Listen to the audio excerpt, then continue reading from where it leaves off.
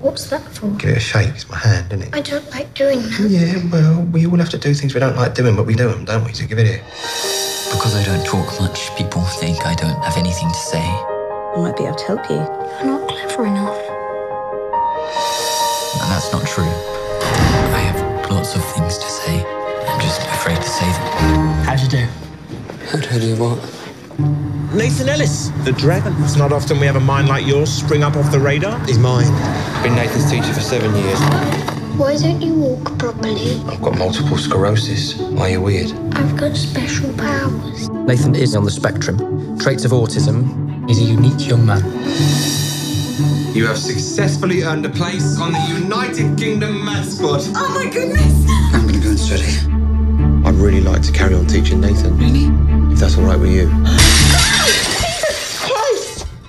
Bit of a weird one. You are the cleverest young brains in this country. We will be training with four other national teams in Taiwan. Nice to meet you. If beauty is truth and truth is beauty, well then surely mathematics is the most beautiful thing of all. A one followed by a one turned into a zero. And that means You can't keep taking away from a positive integer without it turning negative. good work. Everyone? It must have been very difficult for you, being just you and Nathan. Are you? You're going to do amazing things in the future. You haven't. You charming little bastard. This is the most prestigious place to study mathematics on the planet. Can you say that word? Hypotenuse. Bless you.